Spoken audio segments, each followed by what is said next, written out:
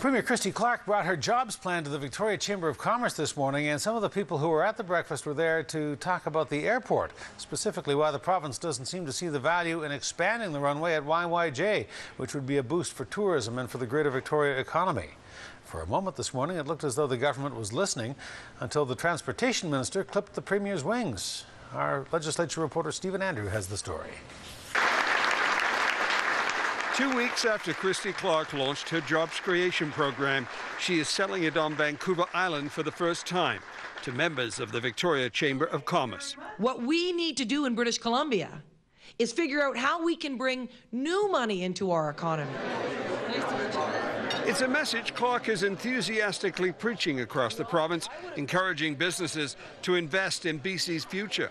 But it is clear the Chamber has an appetite for more than words. And I'm going to talk for, talk for a moment about the, the airport expansion, something that's you know is near and dear to us. Victoria International is Canada's ninth busiest airport with one of the shortest runways. The airport's CEO believes expansion is key to developing tourism and trade. Well, I can guarantee you if you don't build it, they'll never come.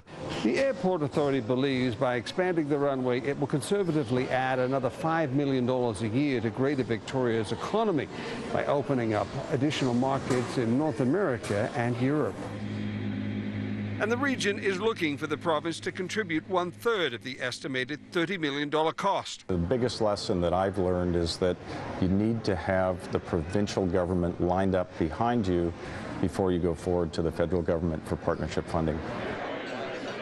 The Victoria Chamber is making the project its number one priority.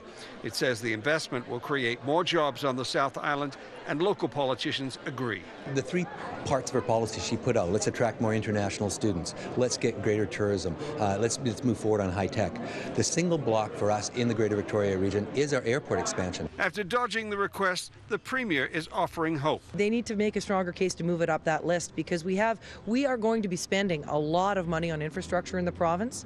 We are spending it first in the places where it's going to make the most difference. But it appears Clark's transportation minister is not reading from the same list. It isn't an issue of selling me on the project. I think they have done a very good job of that. I think they have done their homework, done a very good business case on it. The issue right now, as we said earlier, is our ability to find the financial wherewithal to actually contribute to a project of this magnitude. Clark has already committed millions of dollars to her jobs plan on the mainland. And every time she ends her speech with the same message. For the next decade, every Canadian will say, when you look at British Columbia, Canada starts here. So far, for Christy Clark, Canada doesn't appear to start at the Victoria Airport. Stephen Andrew joins us now live in the Inner Harbour in Victoria, one of the biggest tourism draws on the island. So far, uh, Stephen, the impression on Vancouver Island is that there isn't really much uh, in the job creation program for the island. Well, uh, definitely the government is trying to spin this as that uh, the initiatives that they have put money in so far will have a trickle-down effect and create jobs here on Vancouver Island. Uh, Pat Bell will be speaking to us tomorrow morning about this, but uh, Premier is certainly going to get a rough ride. I mean, she's speaking to the Nanaimo Chamber of Commerce on the 18th, and I expect when she arrives, she's going to get a lot of questions about raw logs, and already the mayor, uh, but like Cowichan Hudson is saying he's tired of seeing a truck full of logs going down the highway and uh, also jobs moving out of his community. In a city with the highest urban unemployment in the province. Absolutely, and that's something that she's going to have to deal with. But of course, when she's speaking to these chambers, Hudson, she's really speaking to her supporters. So uh, maybe she won't make it, may not get such a rough ride, but certainly there is some criticism of what's here on Vancouver Island in that plan. All right, Stephen Andrew, thank you. You're welcome.